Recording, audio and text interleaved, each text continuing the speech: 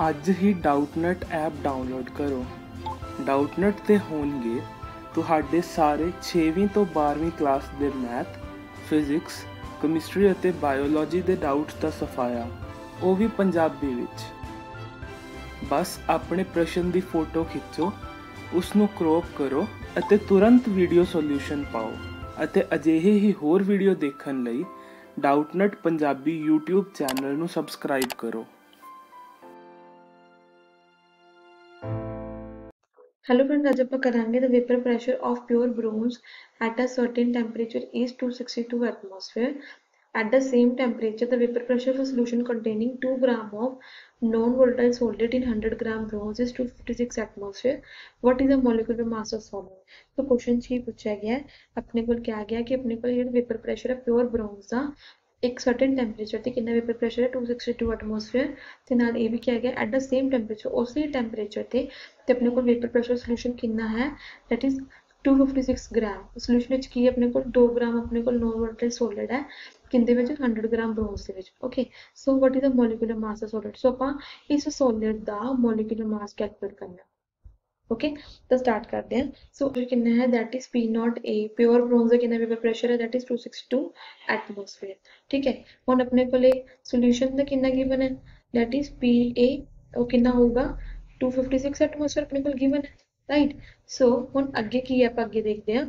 तो हम देखो अपने को according to Raoult law formula की होता है P naught A minus P A divided by P naught A A okay is equal to xb देखिए अपने को mole fraction of solute xb ਠੀਕ ਹੈ ਸੋ ਹੁਣ ਦੇਖੋ ਸੋ ਹੁਣ ਆਪਾਂ ਅੱਗੇ ਬੋਲਾਂਗੇ ਇਹਨੂੰ ਫਾਰਮੂਲੇ ਨੂੰ ਸੋ ਆਪਣੇ ਕੋਲੇ ਮੋਲ ਫ੍ਰੈਕਸ਼ਨ ਕਿੰਨੇ ਇਕੁਅਲ ਹੁੰਦਾ ਆ that is is equal to p naught a minus pa divided by p naught a okay so ਆਪਣੇ ਕੋਲੇ ਹੁਣ ਮੋਲ ਫ੍ਰੈਕਸ਼ਨ ਕਿੰਨੇ ਇਕੁਅਲ ਹੈ that is ਆਪਾਂ ਹੁਣ ਲਿਖਾਂਗੇ wb upon mp mass in grams upon molar mass ਠੀਕ ਹੈ ਠੀਕ ਡਿਵਾਈਡਡ ਬਾਈ ਕੀ ਆਊਗਾ ਅੱਗੇ ਆਪਣੇ ਕੋਲ ਆਊਗਾ ਇੱਥੇ ਆਊਗਾ W A upon M A ਠੀਕ ਹੈ ਸੋ ਸੋ ਬੇਸਿਕਲੀ ਆਪਣੇ ਕੋਲ ਮੋਲ ਫ੍ਰੈਕਸ਼ਨ ਦਾ ਫਾਰਮੂਲਾ ਹੁੰਦਾ ਹੈ mole fraction of number of moles of solute divided by number of moles of solute plus number of moles of solvent but ਆਪਾਂ ਹੁਣ ਇਹਦੇ ਫਾਰਮੂਲੇ ਵਿੱਚ ਮੋਲ ਫ੍ਰੈਕਸ਼ਨ ਤੇ ਕੀ ਲਿਖਿਆ number of moles of solute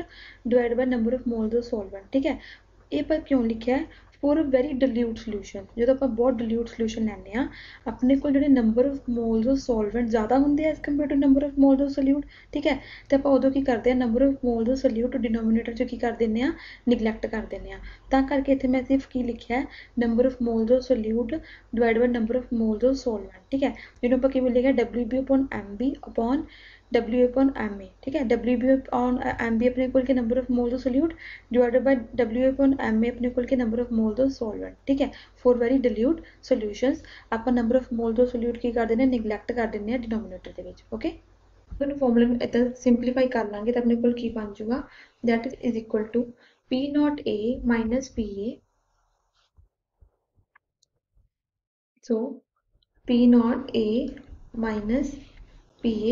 divided by P naught A right so हम देखो, अपने को बन गया W B upon M B into M A upon W A okay so हम आप सारी वैल्यूज़ इतने पुट फिल कर देंगे। सो हम देख सो हम आप वैल्यूज़ पुट कर देंगे। सो अपने को पी नॉट ए कि है अपने को vapour pressure of pure benzene ठीक है? वो कि अपने को? Two sixty two two sixty two ठीक है?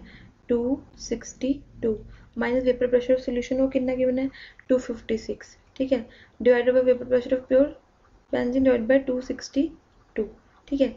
उन इज़ इक्वल टू देखो किया होगा उन अपने को ले वेट ऑफ़ जो डब्ल्यू बी है। वेट ऑफ़ कितना अपने को गिवन है? टू ग्राम ठीक है? तो अपने को ले, आप मोलिकुलर मास कटना है इनका इतने आप एम बी लिख लेंगे, ठीक है? हम देखो इतने अपने को होगा मोलीकुलर मास ऑफ़ बेंजीन कितना होंगे अपने को 78 हंड्रेड ग्राम अपने को मार्क्स दिता है व्यंजन का ठीक है? सो देखो अपने को ओवरऑल सोल्व करके कितना आ जाएगा?